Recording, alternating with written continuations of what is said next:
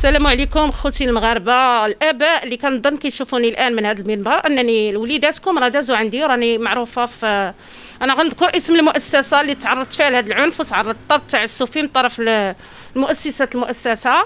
هي مدرسة كنت كنشتغل في هذه المؤسسة منذ 2015 آه إلى غاية 2021 لأن جدات معايا عقد جديد ديال 2000 من 1000 2020 ل 2021 المشكل ديالي هو أنني جات في شهر 8 تصبت بكورونا كنت من المخالطين.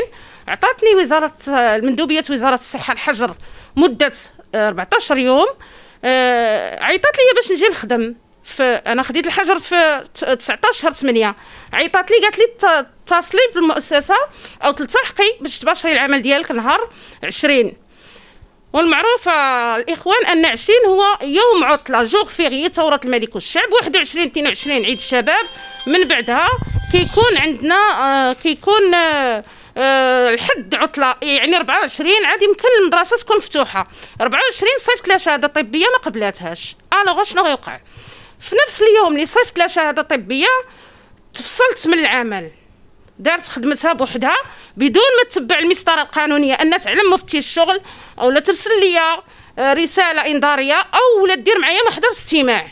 توصلت بالفصل recommandé طبقت في حقها مسطرة الحق الطرد آه، التعسفي فعلا عن طريق المحكمة.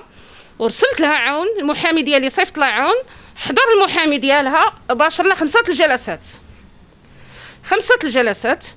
آه، المشكل هو أنك دائما آه، في أي جلسة عندي الوثائق ديالي مضبوطه العقد اللي بيني وبينها دائما كيتمنى على 20 غشت كيسالي في شهر 6 يعني راه من الانطلاقة ديالو عقد باطل مبني على يوم عطلة. ما علينا. ثاني حاجة أنني أنا فاش كتعطيني العقد كنمشي نجليزيه بوحدي ما كتجليزيهش معايا. ثالث حاجة أن باش أن صرحت أمام المحكمة أنني مؤقتة. بالله عليكم كيفاش أستاذة؟ شادة المستوى السادس. والامتحانات ديالها كتمشي النيابة وكتصادق عليهم. كنتسمى مؤقتة. واش مؤقتة؟ نتوما في نظركم مؤقتة شنو هي؟ مؤقتة هي اللي كتجي تخدم في بلاصه شي وحدة غتولاد شي وحدة مريضة أو لا. هي دائما معتبراني مؤقتة. علاش؟ باش تحاول تنسحب من قضية التعويض. اللي كنطالب به أنا الآن. أنا كنطالب التعويض ديالي ديال مدة خمس سنوات.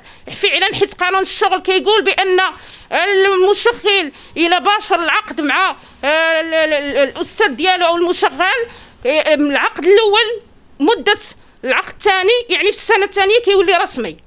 لا لا يعني هذا الشيء لا نقاش فيه. لهذا هاد السيدة طغات كتصيفط لي تهديدات كيوصلوني رسائل مجهولة. كيوصلوني مكالمات عن طريق أرقام هاتف مجهولة. هاد السيدة كتقول لي أني تسمك في واحد في ولادك. غنبيعك دارك. كتقول بأنني نقدر نشري المحكمة بالكراسة ديالها بالقاعات ديالها. هاد السيدة راجلة في البرلمان. كتقول لك هو اليد اليد العليا. واش كاينة شي إيد فوق إيد سيدنا؟ المحكمة كلها مبنية على سيدنا. والأحكام كلها اللي كتصدر على إيد سيدنا. كيفاش هاد السيدة تجرأت وكتعامل هذه المعاملة وكتصيفط هذه المراسلات. كيفاش هاد السيدة تعطاها الحق ديالها وترفض الحق ديالي أنا؟ بأي حق؟ دابا أنا تنطالب بالحق ديالي. بغيت نعم ناخذ التعويض ديالي. المواطنين المغاربة كلكم كتسمعوني. وليداتكم كلهم دازوا عندي. هاد السيدة طبقات في حقي مسطرة وصيفطت لي مذكرة بأنني كنعنف ليها وليداتها. عندي شهادة ديال 60 أب. ايغاليزي في مقاطعه كتشهد بأن هاد الأستاذة راها كفءه وعلى ظهري وقفات المدرسة. وخير دليل أن الوقت فاش وقع لي الطرد اللي كيجي كيسول الأستاذة السادس كاينة ما كايناش ما كيقيدش وليداتو. علاش؟ لأن أنا اللي كنت في المستوى وما نبقاش نهضر بهاد أنا باش نتسمى أنانية ولكن كنبين خدمتي. عندي شهادة ديال جمعية التعليم الخصوصي بالمغرب كامل الاساتذه من طنجة للقويرة.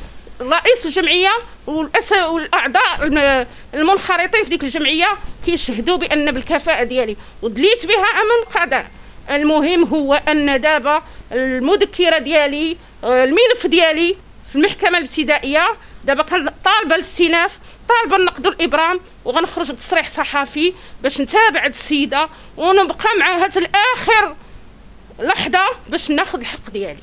ولهذا أخوتي المغاربة اللي وصلوا هذا الفيديو يحاول يبارطاجي يبارطاجي بارتو مع الأصدقاء ديالكم باش تشوفوا قيمة الأستاذ في التعليم الخصوصي. والسلام عليكم.